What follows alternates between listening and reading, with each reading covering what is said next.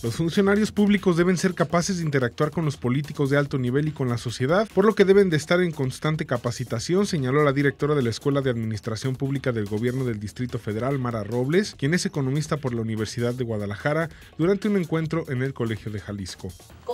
Capacidad de gobierno, con capacidad de innovación, con capacidad de interlocución e iniciativa política. Señaló que las universidades y los gobiernos deben trabajar en conjunto para mejorar la vida del país sí tiene que estar al servicio de los problemas de la sociedad, porque si no, entonces nuestras grandes instituciones de educación superior no ayudan a resolver problemas públicos. Y a su vez el gobierno tiene que estar abierto a escuchar a los sabios y los expertos.